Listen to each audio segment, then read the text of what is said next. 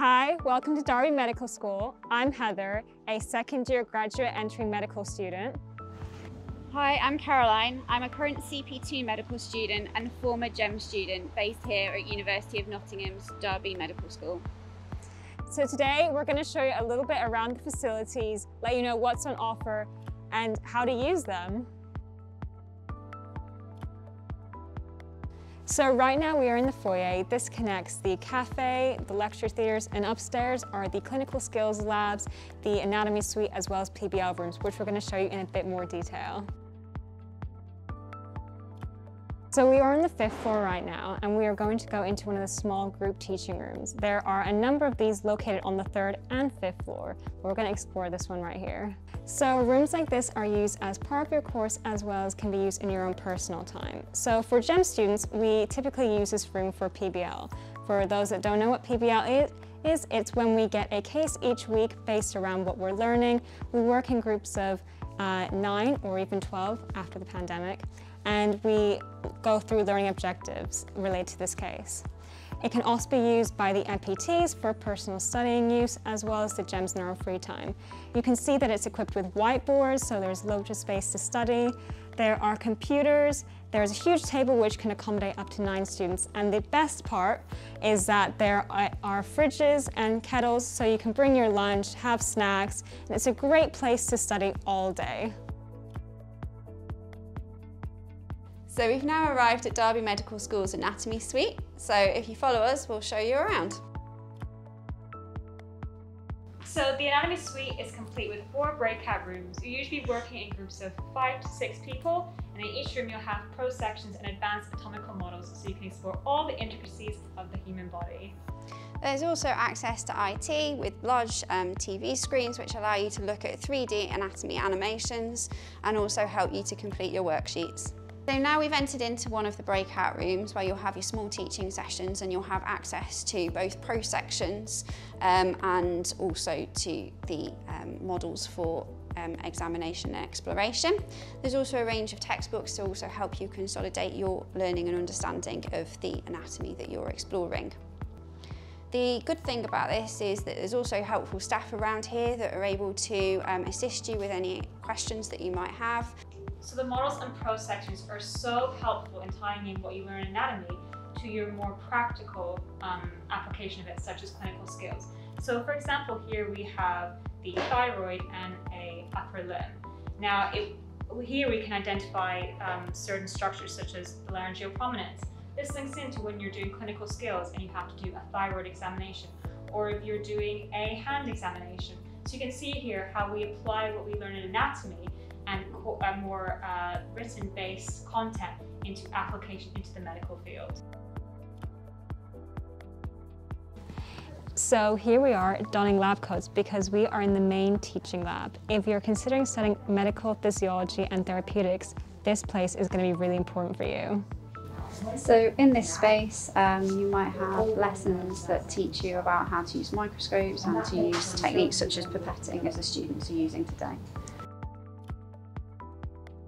The clinical skills rooms are the heart of the medical school. This is where students are able to practice their examination technique as well as communication skills. Students will be able to work in small groups with a facilitator present and be able to practice procedures and use equipment that is relevant to the module they are currently covering. This can range from manual blood pressure machines, otoscopes, even prosthetic breasts. This is crucial in succeeding in their OSCEs, which they undertake during their course as well as in their final year. This is also where drop in sessions are held, where students are able to come in and practice with their fellow peers So we're now in the lecture theatre at Derby Medical School, which gets used by the graduate entry medical students for the first 18 months of their course, the medical physiology and therapeutic students, and also the foundation um, medicine programme as well use this facility. As you can see, it's got good access to power supplies to plug in your electronic devices during lectures, and um, it's got um, good supply of screens as well to ensure good visibility. Okay, so we're currently in the cafe at the Derby Medical School and obviously there's lots of seating areas including some sofas over in the corner and you can buy a selection of drinks and snacks as well so it's a great place to come in between sort of lectures and um, study sessions.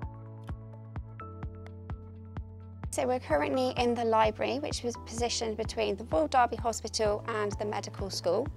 It's got a fantastic selection of facilities and resources that can be used by both staff and students um, around the area. So now we're going to have a look at this room, which is dedicated to all the university students. So this room is complete with private study pods as well as computers. So if you want a quiet place to study, this is the perfect place. You can bring your device or use your own. It has easy access to printing and you can access it 24-7. So the library has a selection of bookable rooms, um, including a couple of seminar rooms and this IT room. As you can see in the IT room there's also a selection of computers that you can use and it's probably quite a good area to book if you want to use it for group project work and things like that. So a new piece of equipment that has been installed in Derby Library um, is this LapSafe which allows you to loan laptops if you haven't got your own device available. Um, it's quite a straightforward process where you can just scan your card and then it will actually release a laptop that you can then use to access all of the fantastic electronic resources available.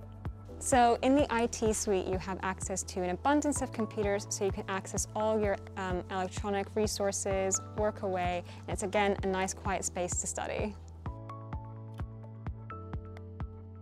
So we've just come down from the main foyer and we are now in the Lincoln corridor between the medical school and the hospital. So this is the student services, which we'll show you a bit later, but we're going to go down to what is known as the West Block and show you some private study areas as well as places for students to relax.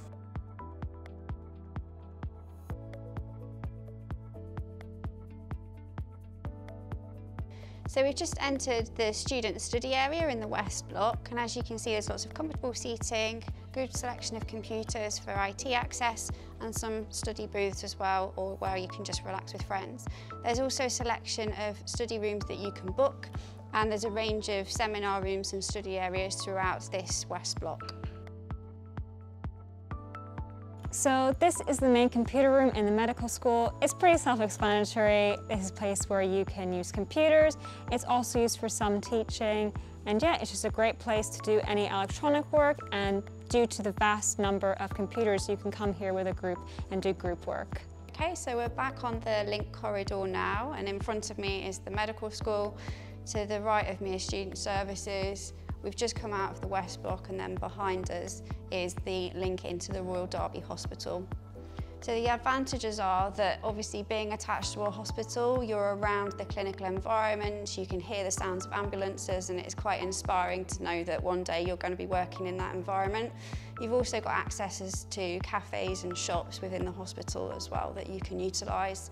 And when it comes to clinical placement, if your clinical placement is based at Derby, you've already got a little bit of familiarity with where you're going and that also helps um, make you feel more comfortable when you go into clinical placement. So we've just turned off the Lincoln corridor from the medical school and the hospital and now we are at the entrance of student services as well as the students union room which we'll show you in a bit more detail now. So being a medical student doesn't just mean studying 24-7. It's really important to relax and take time for yourself and your friends, and this space is perfect for that.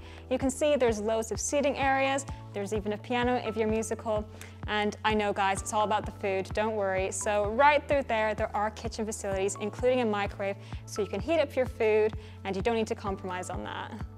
And when I was based at Derby Medical School, this area got used for social events pre-COVID, and one of them even included some puppies coming in for us to kind of play with and relax just ahead of those important exams.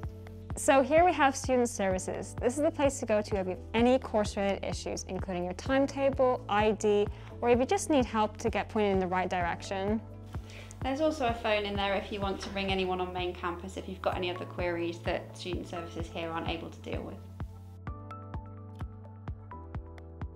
If you choose to live in Nottingham, you don't need to worry about transportation costs.